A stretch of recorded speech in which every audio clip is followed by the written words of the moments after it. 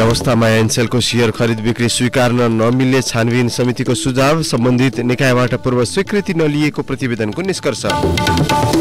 Visit भिसामा setting गरी विदेश पठाउने गिरोह सक्रिय अध्यागमनका नौ अधिकृत सहित बाइसजना आरोपी बाह्रजना भने फरार।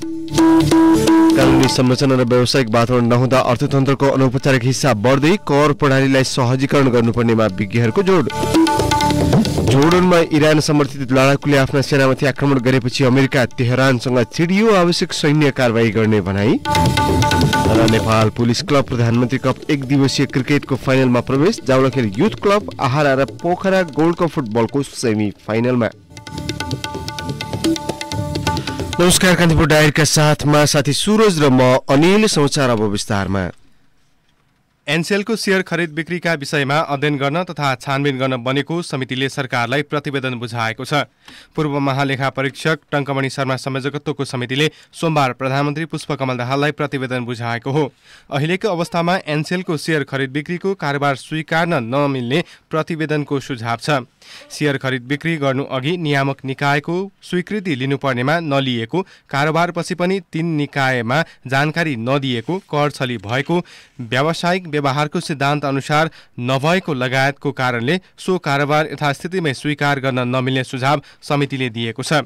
संयोजकमा सचिव फणिन्द्र गौतम सहसचिवमा बाबुराम भण्डारी सहसचिव हृदेश कुमार साक्य र आइक्यानका अध्यक्ष सुजन कुमार काफले सदस्य रहेको समिति गठन गरेको थियो। प्रतिवेदनमा भनिएको छ खरिद बिक्रीकर्ता दुवै पक्षले निवेदन दिनुपर्नेमा नदिएको सेयर खरिद बिक्री गर्नु अघि स्वीकृति लिनुपर्नेमा नलिएको र प्राप्त सेयर खरिद बिक्री सम्झौताका शर्त विश्लेषण गर्दा आर्म्स लेन्थ प्रिन्सिपल अनुसार नभएको विभिन्न दृष्टिबाट खरिदकर्ताको क्षमता विश्लेषण गर्दा प्राविधिक वित्तीय तथा व्यवस्थापकीय क्षमता पुष्टि हुने कागजात पेश नगरेको देखिँदा यो सेयर बिक्री सम्झौता यथास्थितिमा स्वीकार्न उपयुक्त नहुने देखिएको उपयुक्त हुने देखिएन। एनसेल आजियाटाको अधिकांश सेयर खरिद बिक्रीको सम्बन्धमा प्रचलित कानून बमोजिम सम्म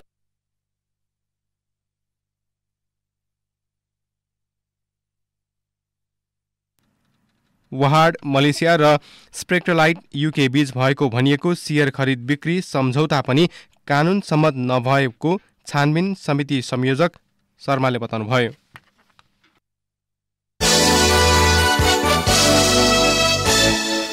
सरकारी कागजात कृत्य गरी संगठित रूपमा भिजिट भिसामा युवालाई विदेश पठाउने गिरोहमा संलग्न रहेको आरोपमा प्रहरीले बाइस जना विरुद्ध मुद्दा चलाउने राय सहितको अनुसन्धान प्रतिवेदन काठमाडौँ जिल्ला सरकारी वकिलको कार्यालयमा पेश गरेको छ। तीमध्ये नौजना त्रिभुवन अन्तर्राष्ट्रिय विमानस्थल अध्यागमन कार्यालयमा एकै सिफ्टमा कार्यरत अध्यागमन अधिकृतहरू समेत छन्। लिखित कसुर र संगठित अपराध गरेको आरोपमा आइतबार पेश भएको मुद्दा जिल्ला अदालत काठमाडौँमा दर्ता हुने अन्तिम चरणमा रहेको प्रहरीले जनाएको छ। अपराध अनुसन्धान कार्यालयले भिजिट भिसाका नाममा भएको मानव तस्करी अनियमिततामा छानबिन र अनुसन्धान अघि बढाएपछि आरोपी मध्ये बाह्रजना भने फरार रहेका छन्। तीमध्ये पनि फरार हुनेमा आठजना अध्यागमन अधिकृत रहेको काठमाडौँ प्रहरी परिसरले जनाएको छ। फरार कर्मचारीहरूबारे संघीय मामिला तथा सामान्य प्रशासन मन्त्रालयलाई पत्रचार गरी विवरण माग गरिएको काठमाडौँ प्रहरी परिसरका अनुसन्धान अधिकृत प्रहरी नायब उपरीक्षक अङ्गुर जीसीले जनाउनुभयो। गत मक्सिर अठारमा अध्यागमन अधिकृत नरवीर खड्कालाई सरकारी कागजात कृत्य गरी नेपाली नागरिकलाई भिजिट भिसा मार्फत विदेश पठाउने गिरोहमा सक्रिय रहेको आरोपमा पक्राउ गरेको थियो। उनको साथबाट रामेछाप दोरम्बा गाउँपालिका साथका ट्राभल एजेन्ट पदमा लामाले दिएको दुई लाख रुपियाँ समेत बरामद भएको प्रहरीले जनाएको छ। प्रहरीले लामासहित अर्का ट्राभल एजेन्सी सञ्चालक काभ्रे घर भई गोकर्णेश्वर चार बस्ने मनोज तामाङलाई पक्राउ गरी अनुसन्धान अघि बढाएको छ। अनुसन्धानमा खड्का र तामाङ मिलेर भिजिट भिसामा विदेश उडाइएका दर्जनौ युवाको सूची भेटिएको छ। अध्यागमन अधिकृत खड्काकै बयानका आधारमा अन्य आठजना अधिकृतलाई पनि प्रहरीले प्रतिवादी बनाएर अनुसन्धान गरिरहेको छ।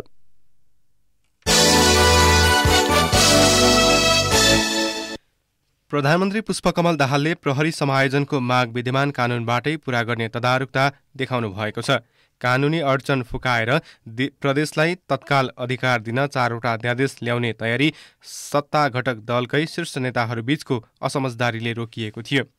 प्रहरी समायोजन ऐन र प्रहरी नेपाल प्रहरी र प्रदेश प्रहरी कार्य सञ्चालन सुपरिवेक्षण र समन्वय ऐन धेरै अघि नै आइसकेका छन् तर सङ्घीय प्रहरी ऐनमा संशोधन नभएको कारण देखाएर सङ्घले प्रहरी समायोजनमा ढिलाइ गर्न थालेपछि प्रदेश सरकारका मुख्यमन्त्रीहरू नै सङ्घ विरुद्ध आन्दोलनमा उत्रिने चेतावनी दिँदै आएका छन्। सङ्घीय सरकारको इच्छाशक्ति भएमा प्रहरी ऐन संशोधन नभए पनि यी दुई कानूनका आधारमा प्रहरी समायोजन गर्न सकिने प्रदेशका मुख्यमन्त्रीहरू बताउँछन्। गण्डकी प्रदेशका मुख्यमन्त्री सुरेन्द्र राज पाण्डेले भन्नुभयो समायोजन गरौँ भन्ने हो भने विद्यमान कानूनबाटै सम्भव छ। कतिपय अप्ठ्यारा पछि फुकाउँदै जान सकिन्छ तर सबैभन्दा ठूलो कुरा इच्छा शक्ति हो। अहिले समायोजन गर्दा पछि मिलाउनु पर्ने कुरा केही भएमा मिलाउँदै जान सकिन्छ। सङ्घीयतालाई लिएर सडकमा प्रश्न उठाउने अधिकार नपाएको काम गर्न नसकेको भनेर प्रदेश सरकार नै सङ्घ विरुद्ध जुर्मुराउने अवस्था बनेपछि प्रधानमन्त्री दाहालले तत्काल प्रदेशलाई अधिकार सम्पन्न बनाउन अध्यादेशको तयारीमा जुट्नु भएको थियो। संसदको बैठक आह्वान गर्नु अघि अध्यादेश ल्याउन तयारी गरेका प्रधानमन्त्री दाहाललाई गठबन्धनको मुख्य घटक काङ्ग्रेसका सभापति शेरबहादुर देउवाले प्रहरी समायोजन जस्तो गम्भीर विषयमा अध्यादेशको सहारा लिएर समायोजनमा हतारो नगर्न सुझाव दिनुभएको सुझाव दिएपछि दाहाल रोकिनु भएको हो।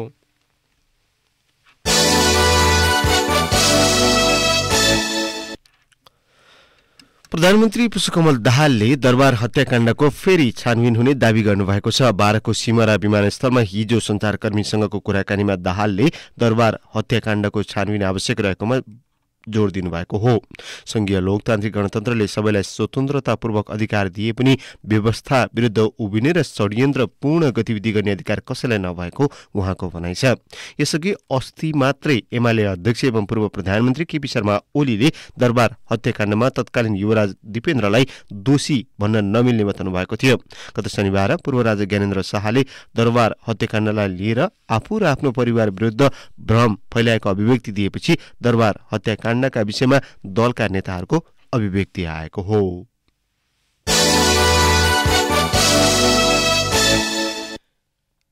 प्रधानमन्त्री पुष्पकमल दाहाल विरुद्धको अवहेलना सम्बन्धी मुद्दामा सर्वोच्च अदालतले सफाई दिएको छ।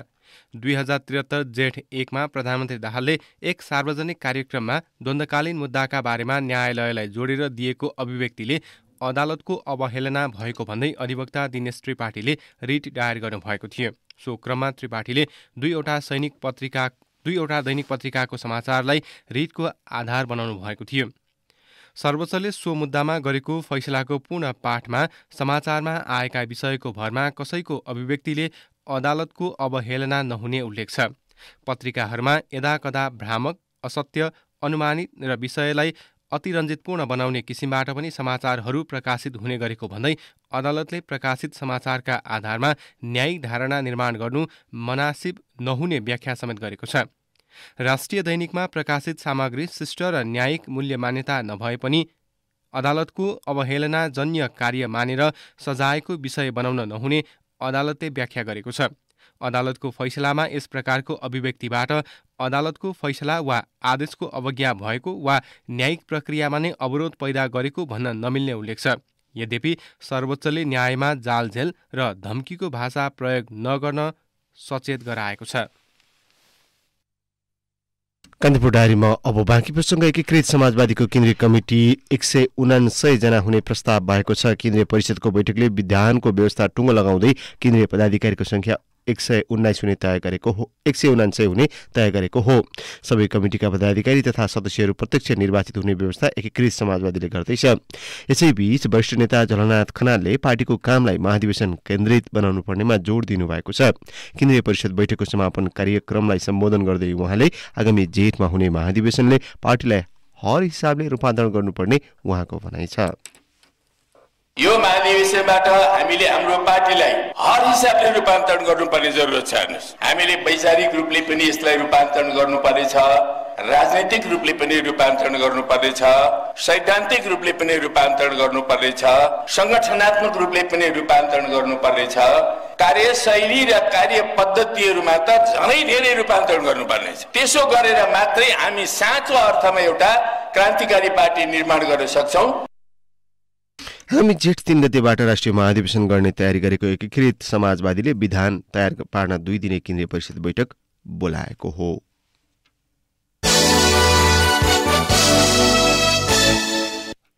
अब कान्तिपुर सविस्तार। कान्तिपुर सविस्तार। नेपालको अनौपचारिक अर्थतन्त्रको आकार चालिस प्रतिशतभन्दा बढी रहेको एक अध्ययनले देखाएको छ। केही दिन अघि सार्वजनिक भएको सो अध्ययन प्रतिवेदन अनुसार अनौपचारिक अर्थतन्त्रको आकार बढ्दै गएको हो। मुलुकमा अर्थतन्त्रको सबलीकरण र सुदृढीकरण गर्ने उद्देश्यले विभिन्न नीतिहरूको अख्तियार गर्दै आए पनि त्यसको पूर्ण रूपमा कार्यान्वयन हुन नसक्दा अनौपचारिक अर्थतन्त्र झाँगिँदै गएको विज्ञहरूले बताएका छन्।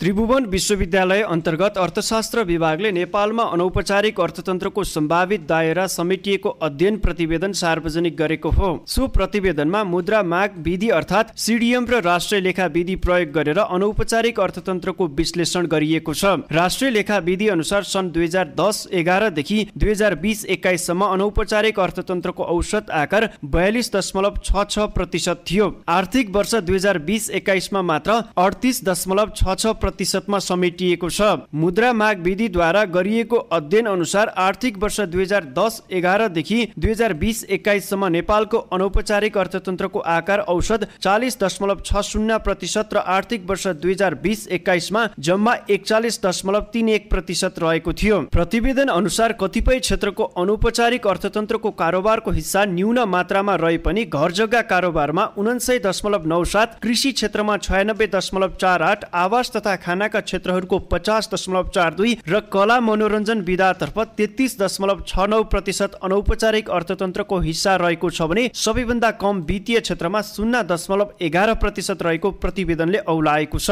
अनौपचारिक अर्थतन्त्रको आकार क्रमशः घटाउँदै लैजानु पर्नेमा अनौपचारिक अर्थतन्त्रको दुवै विधि मार्फत चालिसदेखि बयालिसको हाराहारीमा पुग्नुलाई सन्तोषजनक मानिएको छैन। प्रतिवेदन अनुसार नेपालमा कृषि क्षेत्रमा अनौपचारिक अर्थतन्त्र देखिनुको मुख्य कारण भनेको नेपालको कृषिलाई व्यावसायिक रूपमा रूपान्तरण गर्न नसक्नु हो। नेपालको कृषि अर्थतन्त्र घरेलु तहमा मात्र सीमित भएकाले गर्दा परिवारले आफ्नो दैनिकी गुजाराको लागि सञ्चालन गर्दा कर प्रणालीमा आउन सकेको देखिँदैन। मुलुक सङ्घीय प्रणालीमा गएपछि प्रदेशलाई कृषिमा एकल कर लगाउने नीतिको अवलम्बन गरे पनि कर उठाउन नसकेको त्रिभुवन विश्वविद्यालयका अर्थशास्त्र विभागका सहप्राध्यापक डाक्टर दीपक बहादुर अधिकारीले बताए। त्यस्तै घर जग्गा कारोबार व्यक्तिगत तवरबाट हुने भएकाले दर्ता प्रणालीमा समावेश हुन नसक्दा यस क्षेत्र पूर्ण अनौपचारिक देखिएको सह प्राध्यापक अधिकारीको भनाइ छ।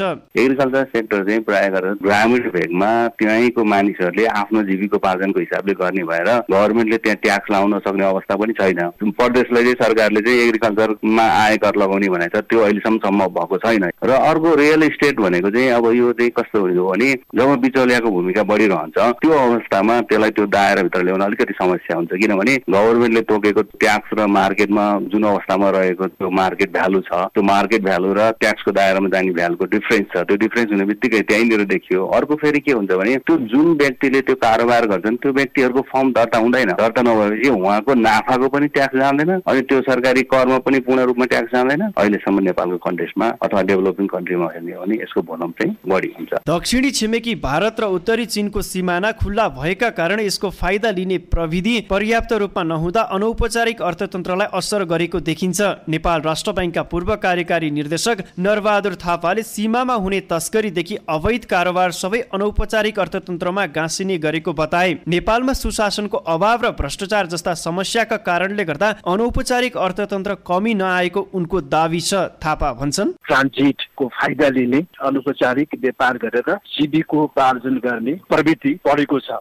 त्यसमा सरकारले पनि सुधार ल्याउन सकेन। आन्तरिक सुन बजार चाँदी बजारको लाई पनि व्यवस्थित गर्न सक्नु अर्को कारण रहेको जस्तो मलाई लाग्छ। मुलुकमा हुने भ्रष्टाचार यो शासकीय क्षेत्रमा सुधार नभएको कारणले यो खास गरी भ्रष्टाचार मौलाउँदै गएको कारणले पनि अनौपचारिक अर्थतन्त्र घट्नुको साटो अलिकति बढेको त्यही पहिलेकै जस्तै अवस्थामा रहेको देखिन्छ।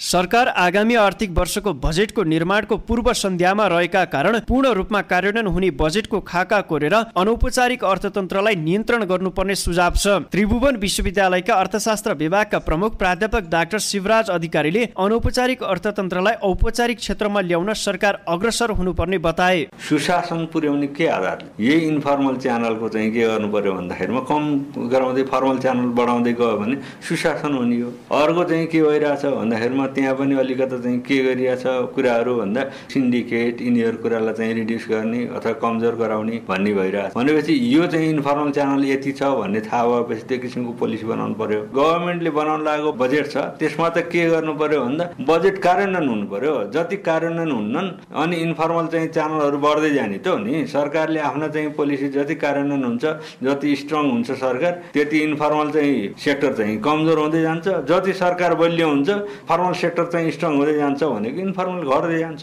विज्ञका अनुसार मुलुकमा देखिएको अनौपचारिक अर्थतन्त्रलाई न्यूनीकरण गर्नका निम्ति मूल्य अभिवृद्धि करको बिल भिजक प्रणाली प्रभावकारी रूपमा लैजानुपर्छ। आम जनता माझ कर वृद्धि नभई करको दायरा बढेको भन्ने आवास दिलाउन सरकार प्रतिबद्धताका साथ अघि बढ्नुपर्ने पूर्व अर्थ सचिव कृष्णहरि बास्कोटाले बताए अनौपचारिक अर्थतन्त्रमा कमी ल्याउने उपाय बारे बास्कोटाले भने मूल्य अभिवृद्धि कर भनेको प्रत्येक पटकको कारोबारमा मूल्य बढ्दै जाँदा मूल्य अभिवृद्धि करको चाहिँ कर चाहिँ बढ्दै जान्छ। त्यो प्रणालीले हामीले प्रभावकारी ढङ्गले लैजान पर्छ। करको दायरा बढ्दै गएको करको दर बढेको होइन। दायरा मात्रै विस्तार भएको हो। अहिले चाहिँ सङ्घ संस्थाले गर्नुपर्ने सबै कारोबारलाई बिलको दायरामा ल्याइएको छ। यसले गर्दा यिनै प्रक्रियाको माध्यमद्वारा हामीले अनौपचारिक अर्थतन्त्रलाई नियन्त्रण गर्न सक्छौँ। नेपालमा अनौपचारिक अर्थतन्त्रको हिस्सा बढ्दै जानुलाई चिन्ताजनक रूपमा हेरिएको छ तर यसको अंश शून्य बनाउन भने कठिन हुने विज्ञहरूको धारणा छ। त्यसैले औपचारिक अर्थतन्त्रलाई बलियो बनाउन राज्यका सबै निकायले प्रभावकारी कदम चाल्नुपर्नेछ। रेडियो कान्तिपुरका लागि असीम सापकोटा। कान्तिपुर सविस्तार।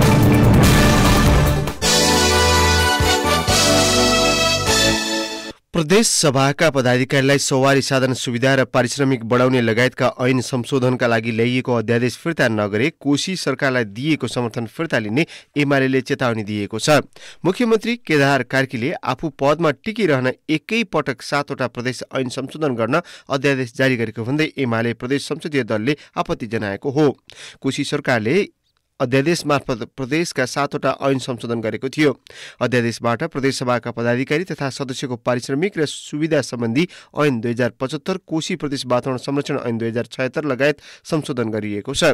प्रदेश सरकारले माघ छमा कोशी प्रदेश ऐनलाई संशोधन गर्न बनेको अध्यादेश दुई हजार असी जारी गरी प्रदेशसभाका पदाधिकारीको परिभाषा संशोधन गर्दै थप सेवा सुविधा दिने व्यवस्था गरेको व्यवस्था गरेको थियो।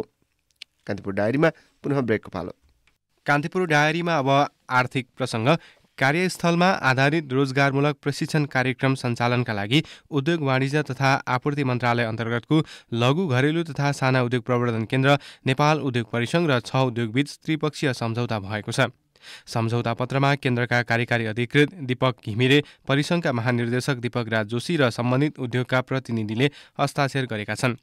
सम्झौता गर्ने छ उद्योगमा Litmus industries Arihant multifibres Kiran shoes manufacturers Baba jute mill modern spinner industries र रन सुज इन्डस्ट्रिज रहेका छन्। सम्झौता अनुसार कुल एक हजार छ सय पैँसठीजना प्रशिक्षार्थी कामदार छनौट गरी उनीहरूलाई प्रशिक्षण दिएपछि कम्तीमा अठार महिनाको रोजगारी प्रदान गरिनेछ। कान्तिपुर डायरीमा अब अन्तर्राष्ट्रिय प्रसङ्ग जोर्डनमा इरान समर्थित लडाकुले आफ्ना सेनामाथि आक्रमण गरेपछि अमेरिका चिडिएको छ। अमेरिकी सेनालाई बचाउन आवश्यक सुरक्षा कारवाही गरिने अमेरिकी रक्षा मन्त्रालय पेन्टागनले जनाएको छ। अमेरिकी रक्षा मन्त्री रोयड अस्टिनले भन्नुभयो हामी आवश्यक सबै सुरक्षा कारवाही गर्नेछौँ। यद्यपि इरानसँग युद्ध भने नचाहेको अमेरिकाले उल्लेख गरेको छ। जोर्डन स्थित अमेरिकी सैन्य शिविरमा भएको आक्रमणपछि पेन्टागनले इरानसँग युद्ध नचाहेको बताएको हो। आइतबारको आक्रमणमा तीन अमेरिकी सैनिकको मृत्यु हुनुका साथै चालिसभन्दा बढी घाइते भएका थिए।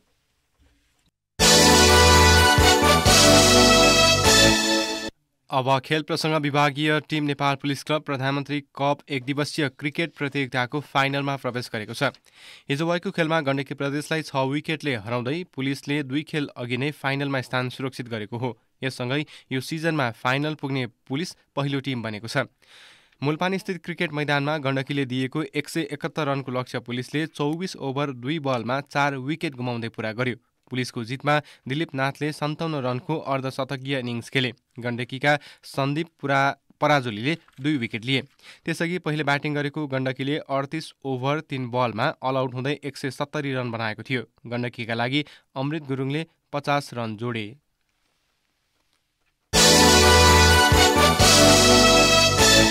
जौलखेल युथ क्लब पोखरामा जारी आहारा गोल्ड कप फुटबलको सेमी फाइनलमा प्रवेश गरेको छ। पोखरा रङ्गशालामा हिजो भएको क्वार्टर फाइनलमा मनाङ मनस्याङदी क्लबलाई सडन डेटमा हराउँदै जावलखेलले सेमी फाइनलमा स्थान सुरक्षित गरेको हो। टाई ब्रेकरमा मनाङका लागि रणदीप पौडीले प्रहार गरेको नौ पेनाल्टी जावलखेलका गोल्ड लक्षक युनेस चौधरीले बचाएर टिमलाई सेमी फाइनलमा पुर्याए।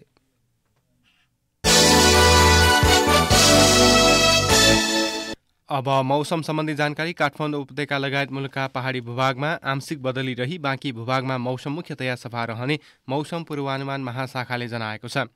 कोशी बागमती गण्डकी कर्णाली र सुदूरपश्चिम प्रदेशका पहाडी भूभागका एक दुई स्थानमा हल्का वर्षाको सम्भावना रहेको महाशाखाको अनुमान छ। न्यूनतम तापक्रम दुई डिग्री सेल्सियस मापन गरिएको काठमाडौँ उपत्यकाको अधिकतम तापक्रम आज अठार डिग्री सेल्सियससम्म पुग्नेछ। सूर्योदय केही बेर अघि छ बजेर बाहन्न मिनटमा भयो भने सूर्यास्त भरे साँझ पाँच बजेर बयालिस मिनटमा हुनेछ।